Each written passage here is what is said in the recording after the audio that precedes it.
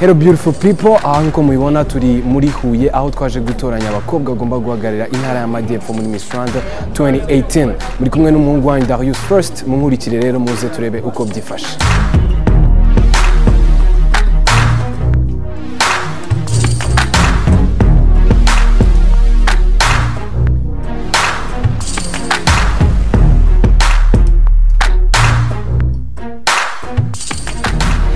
Nk'uko mubibona rero abakobwa bari aha ngaha bararangiye. Ubu ngubu igikurikiyeho ni uko tugiye kureba nimba bya bindi bitatu babyujuje beauty brain and culture.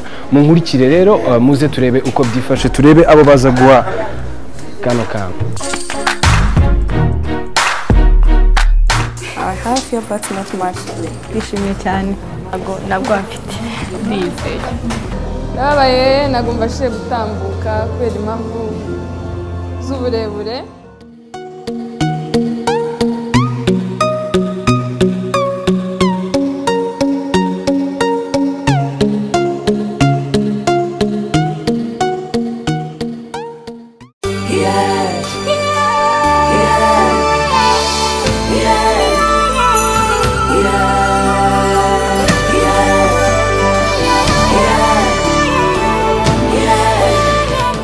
Amazina yanjye nitwa ikirezi mpore ay'igikristu ni marie wivine.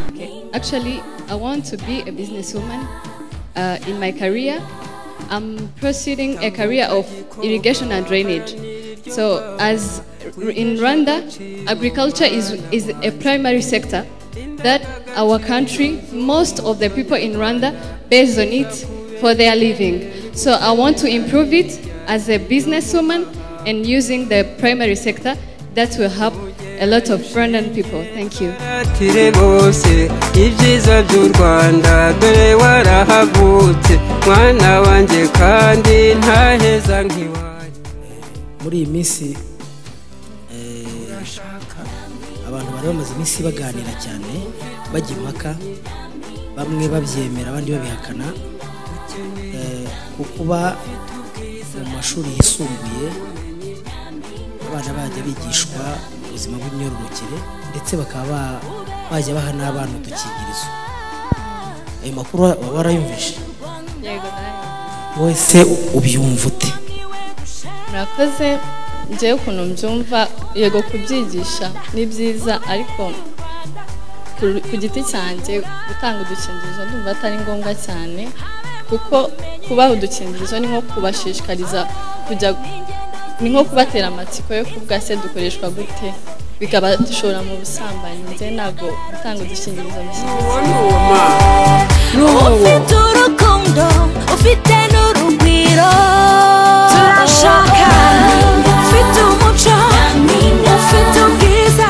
Impamvu yatumye nza hano muri kwiyamamaza muri Miss Rwanda ni uko ubu ndamutse mbaye Miss Rwanda byamfasha bikambera umuyoboro wo kuba nakora umushinga wanjye neza kandi ukaza- ukazafasha abanyarwanda gutera imbere.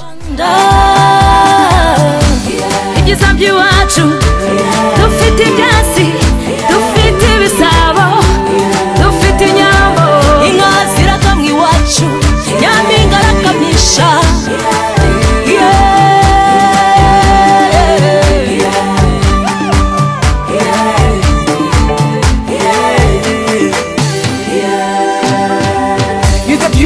beauty, the brand, the culture, yes. Is in your blood.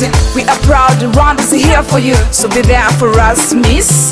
The love, the faith, the abakobwa cumi na bane batambutse imbere y'akanama nkemurampaka tugiye kumenya ngo ni bande bagiye gutambuka ni bande bagiye guhagararira intara y'amajyepfo aho twanyuze hose abakemurampaka bacu bagiye batoranya abakobwa bagera kuri batandatu ese amateka agiye kwisubira tugiye kumenya ko ari batandatu n'uyu munsi cyangwa umubare ushobora kujya munsi cyangwa uriyongera munyemerere maze mpamagara abakobwa bose uko ari cumi na bane uko batambutse imbere y'akanama nkemurampaka. Ariko mbere ko bahamagara hamwe na koje banki ni we muterankunga mukuru imodoka suzuki swift ba- bazaha umukobwa cyangwa se nyampinga uzambikwa ikamba ndetse n'umushahara w'ibihumbi magana inani ndetse n'ibindi byiza byinshi cyane bazamugenera byose turabikesha koje banki dj wimfashijemo hamwe na protocol. Banyampinga bose uko ari cumi na bane mutambuka imbere.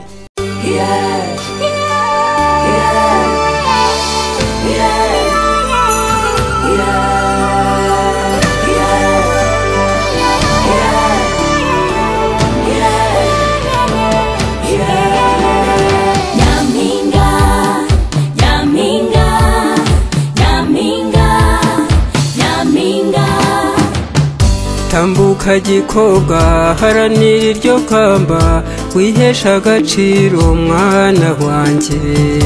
Indangagaciro z'umuco nyarwanda zizakubera iteme rigutembesha hirya iyo mu mahanga. Nugerayo shenge uzaratire bose ibyiza by'u rwanda dore warahavutse. Mwana wanjye kandi ntaheza nk'iwanyu turashaka ufite ubwiza? Ufite ubumenyi? Muco nyarwanda? Ukeneye ufite ubwiza? Ufite ubumenyi? Muco nyarwanda?